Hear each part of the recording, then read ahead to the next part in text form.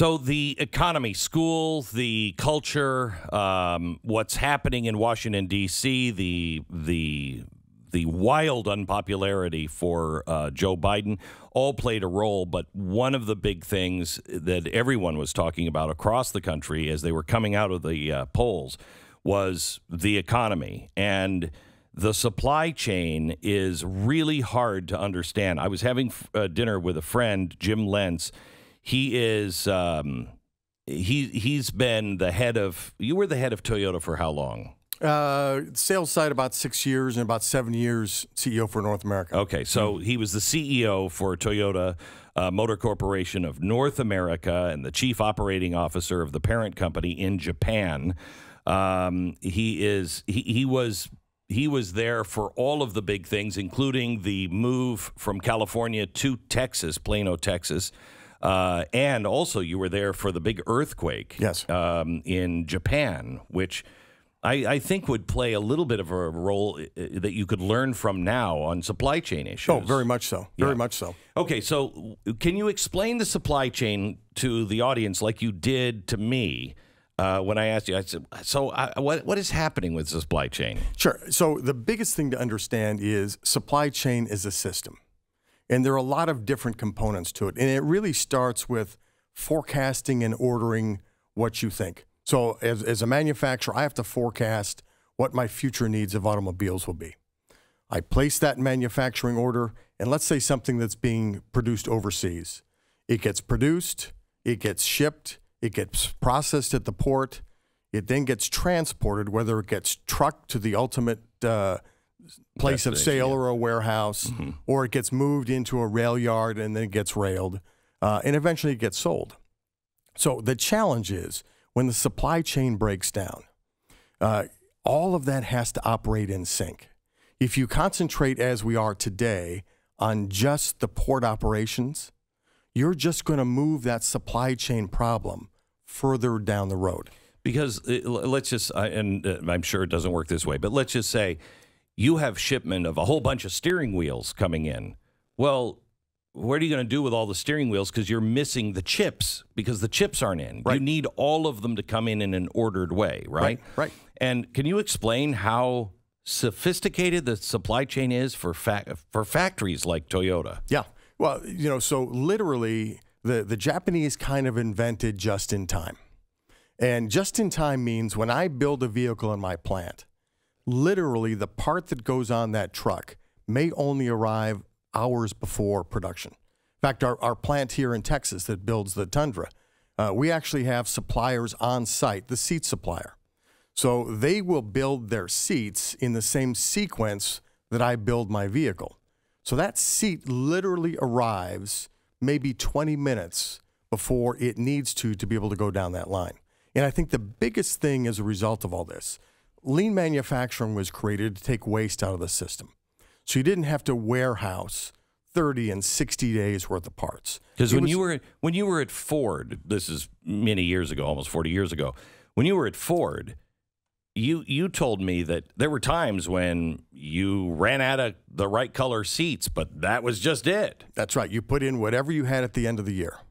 So, so you know, the world's gotten away from that. But the big question that that COVID and this supply chain crisis has created is: Can lean manufacturing, as we know it today, just in time, literally hours before it's needed, is that the best way to go? Or are we going to need to go backwards a little bit, create more warehousing so we don't have these big glitches? It's going to be interesting to see how this gets fixed because there's, there's an old adage in the car business, and that is when things were going wrong, you'd say the bull is in the ditch. And the big question is not how the bull got there, not whose fault it was, not how you're going to keep him out of the ditch in the future.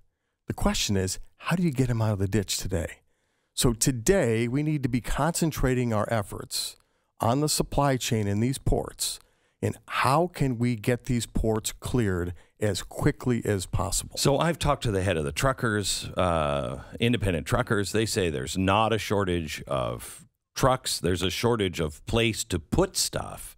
Uh, and they say the trucks, the reason why they have problems with truckers is sometimes these truckers will wait eight hours Mm-hmm. at a port, and they're not getting paid for that. They're not getting paid to wait.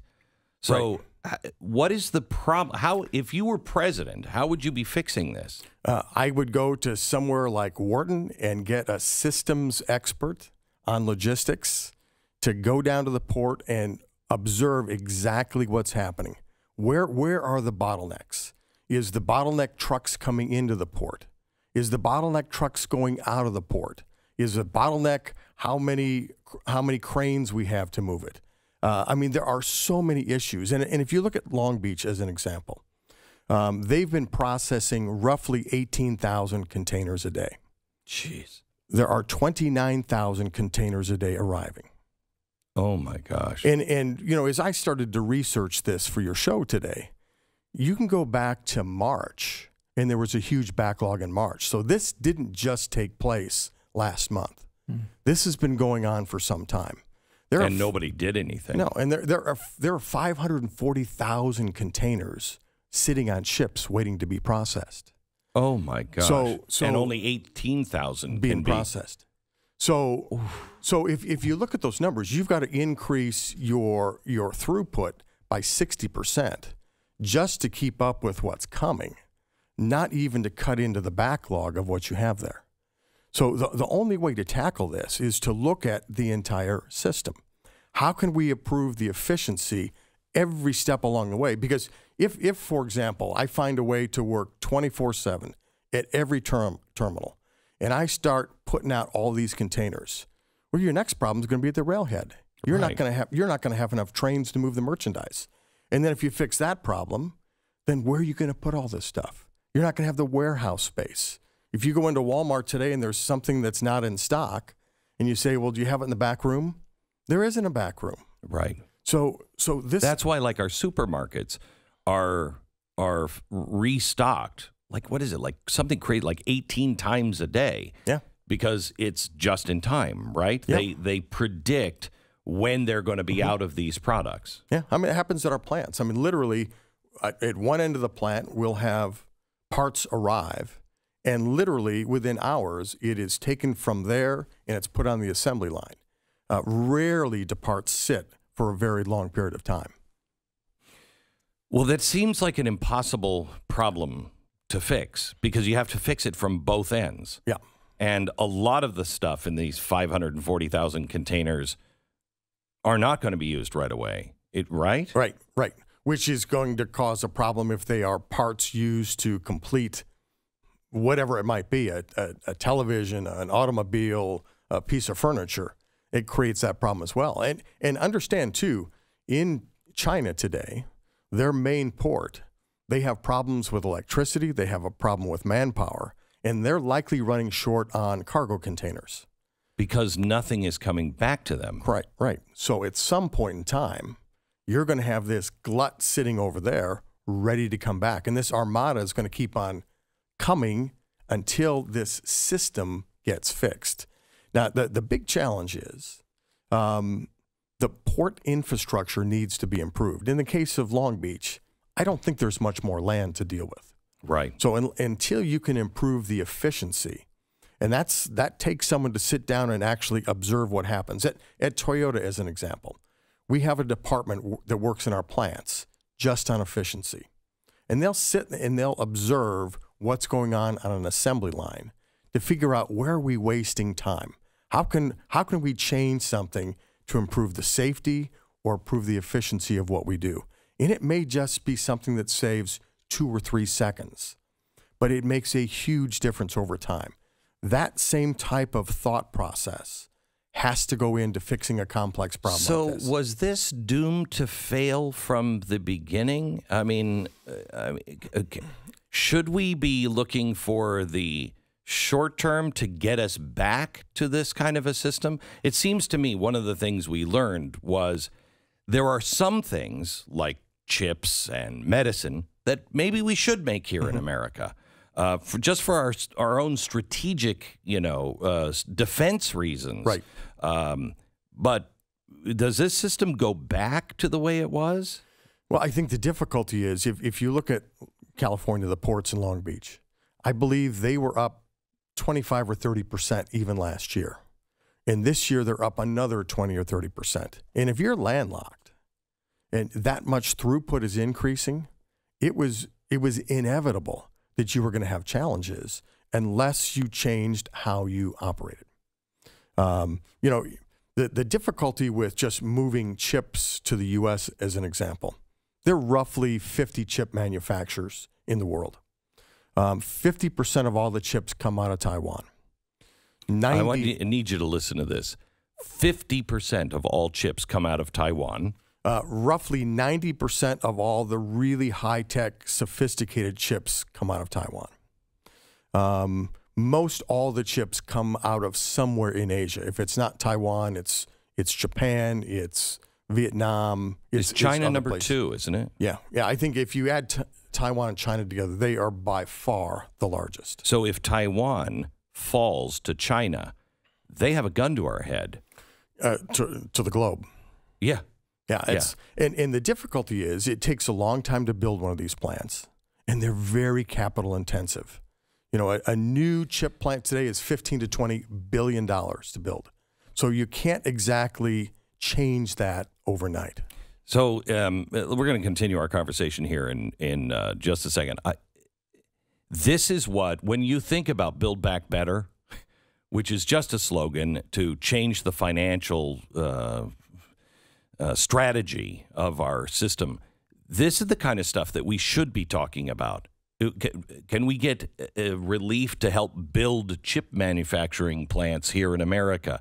Can we can we redesign our ports? Instead, they're going they're going to green energy and all of this this garbage that is not going to help us out in the future to remain uh, ahead of the rest of the world, or at least even competitive with the rest of the world.